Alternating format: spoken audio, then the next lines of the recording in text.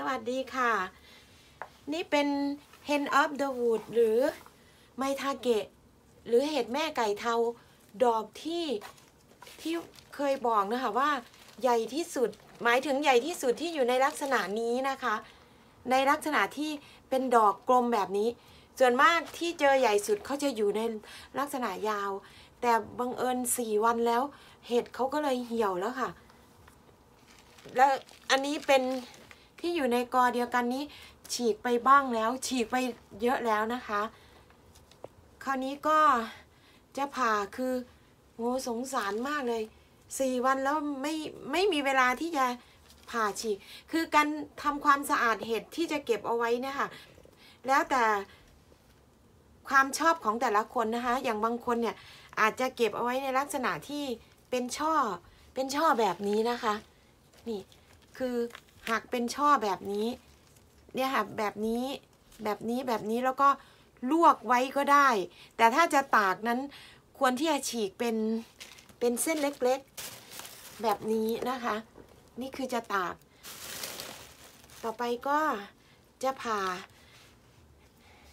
คลิปนี้ยังไงขอสักประมาณ 10 นาทีนะคะ ก่อนอื่นต้องขอขอบคุณท่านผู้ชมที่แวะเข้ามาชม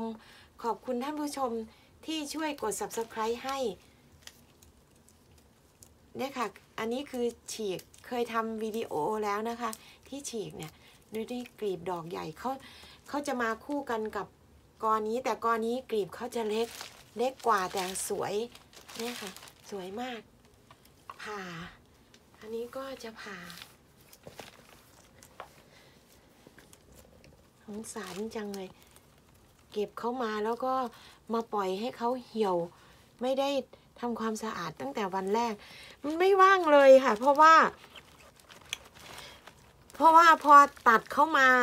เอามาวางไว้โอ้โหดูสีเนี่ยค่ะสีเขาถ้าผ่าตั้งแต่วันแรกสีเขาจะขาวจั๊ววันนี้สีเขาเป็นสีแบบนี้เลย เพราะปกติสีจะเป็นแบบนี้นะคะ จะผ่าดอกนี้ให้ดู นี่ค่ะ นี่ สีจะเป็นแบบนี้ แต่เขาสีเขาเห็นไหมคะ สีเป็นคนละแบบเลยอะ่ะ เป็นดอกที่ใหญ่ที่สุดที่อยู่ในลักษณะกลมที่เคยเก็บมาค่ะ แต่เคยเก็บเฮนที่ใหญ่มากๆอะเมื่อปีที่แล้วนะคะ ที่ใหญ่มากเลยกอนั้นน่ะ นี่ สีไม่ขาวเลยอะเขายังหอมอยู่ค่ะ ยังหอมแล้วก็ยังชื้นอยู่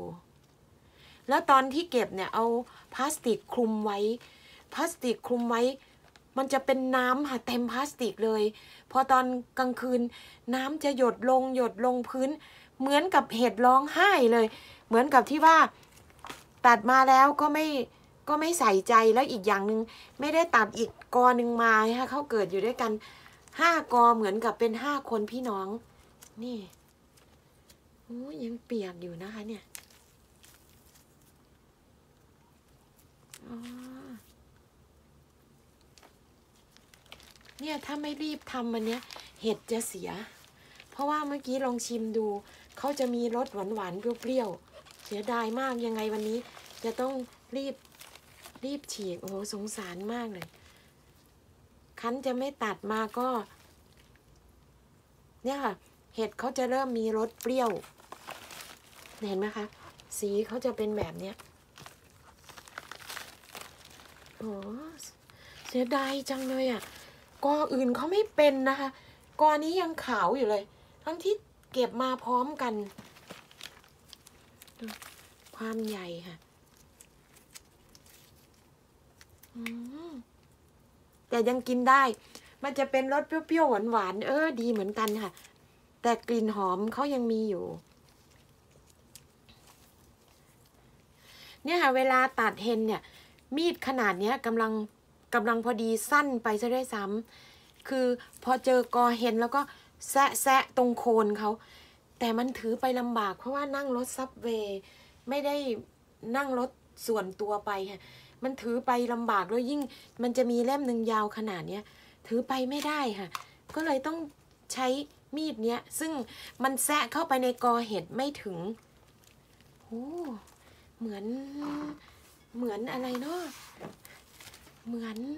เหมือนขนุนเลย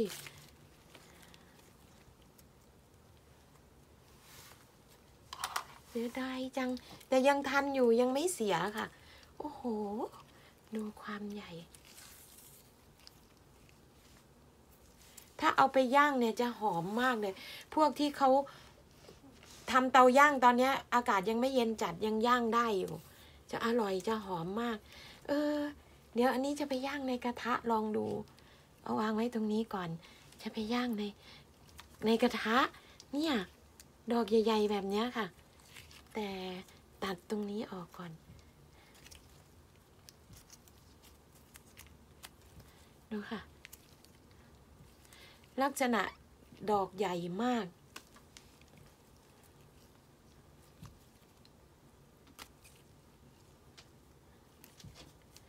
เกือบไหมล่ะ ดีนะที่วันนี้ แล้วเมื่อวานนี้ที่ไปเจอมา ก็ได้เกือบเต็มเต็มถุง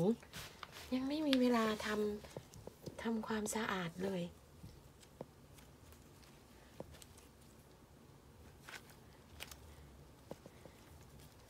เหมือนขนุนอืมดูค่ะลักษณะ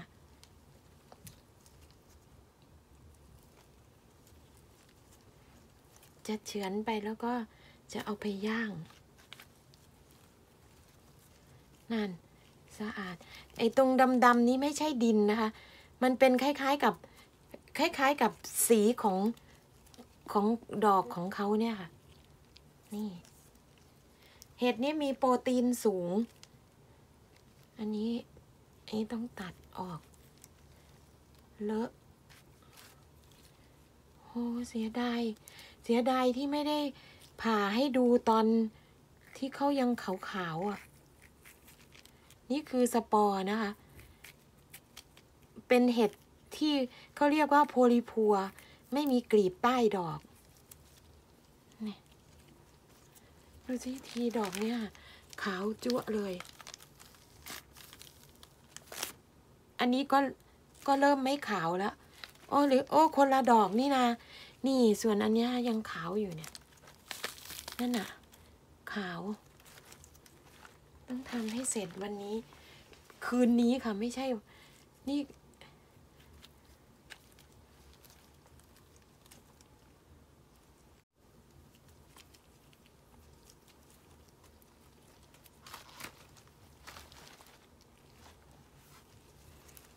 ตรงนี้ ตรงนี้ทิ้ง เนี่ยค่ะ ตรงเนี้ย ทิ้ง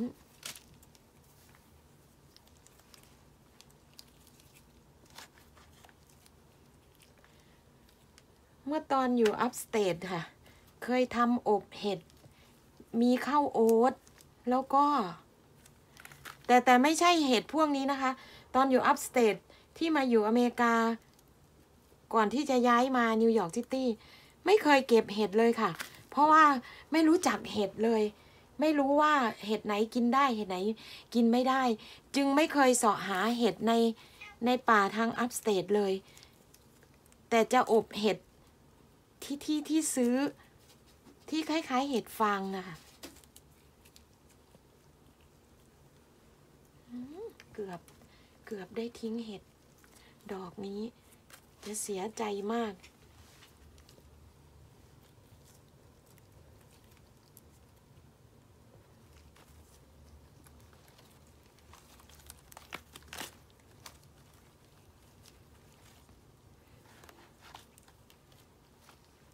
ราะโอกาสจะได้เจอเห็ดดอกใหญ่ ๆ ไม่มากนะคะ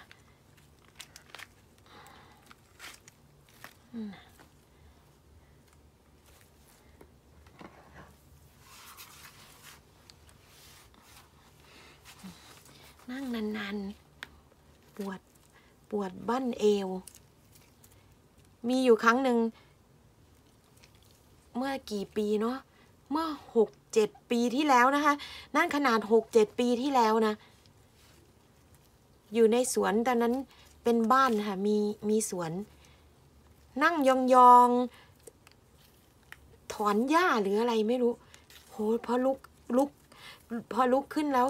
ยืนไม่ได้เลยค่ะ มันมันเจ็บตรงบั้นเอวช่อเนี้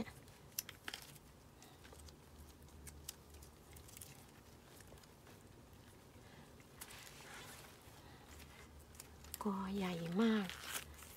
นี่ตรงจุดอันส่วนนี้ต้องทิ้ง ถ้าผ่าเขาตั้งแต่สองวันที่แล้วค่ะ ส่วนตรงนั้นยังไม่ต้องทิ้งเลย ยังหอมอยู่ ไว้พบกันใหม่วิดีโอหน้านะคะ ขอบคุณทุกท่านที่แวะเข้ามาชม ขอบคุณทุกท่านที่ช่วยกด subscribe ให้ ขอบคุณอีกครั้ง สวัสดีค่ะ